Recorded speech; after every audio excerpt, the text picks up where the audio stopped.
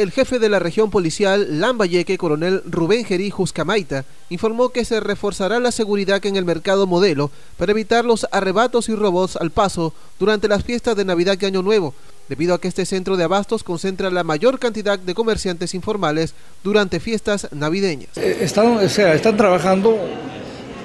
a ver, va a haber policía básica que va a apoyar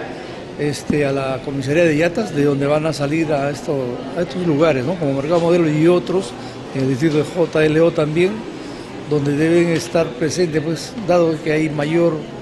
movimiento comercial, concurrencia masiva de público, clientes, ¿no? en esos dos puntos principales los que se va a reforzar con mayor personal se refirió a las declaraciones del dirigente Teodoro Custodio, quien denunció que al menos tres bandas delincuenciales hacen de las suyas en los alrededores del recinto comercial. El mando policial garantizó que se asignará más efectivos.